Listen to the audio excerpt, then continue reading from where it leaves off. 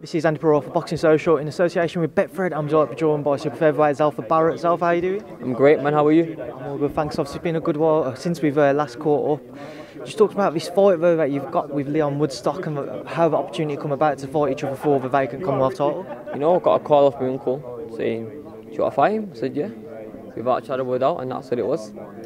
Leon mentioned that it's been a fight that he's always known it would happen at some point. Was you the same with regards to you thought at some point you would cross roads? Yeah, because it was the same way as an amateur. It was, in, it was we crossed paths nearly, so it was inevitable. We're in the same team like Frank Warren, so it's inevitable to happen.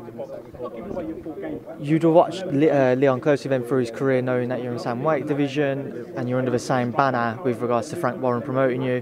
What have you made of his career so far and himself as a fighter? He's a good fighter, man. He's had a good career, you know. You don't, you don't shy away from no one. He's there to fight. He's there to try and win, so it's a good fight for me. So how do you expect the fight between yourselves to go on Saturday night with with regards to the tactics or the styles? How do you expect it all to gel together? It's off about win. Anything he brings up, I'll I will adapt to it. I see you've both suffered one defeat during your career. Whoever was to lose on Saturday night, where do they go on the back of it? I don't know. I don't.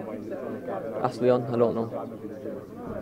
What do you mean for you to be able to pick up the Commonwealth title then on the on the back of what's been a little bit of I don't really want to say rebuilding job, but on the back of that Ronnie Clark defeat to pick up the Commonwealth title now? What do you mean to you? It is what it is, you know. I'm not I'm not here to become world champion. I want to be a world champion. It's part of the journey.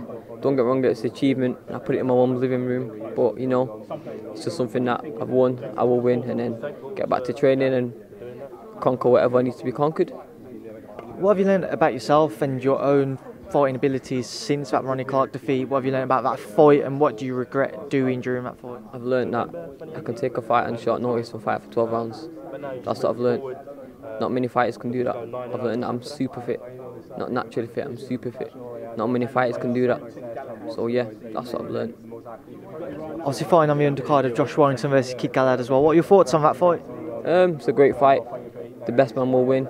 Two cool guys. It is what it is, man. The best man will win. What does your head tell you with regards to who are you back? I will answer that again. The best man will win. The both of them are friends. We're cool with both of them.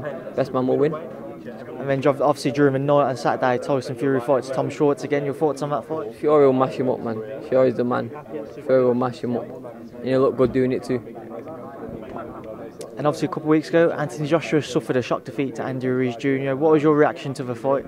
Um, obviously I was gutted for him. Still gutted for him, but he'll rebuild and come back.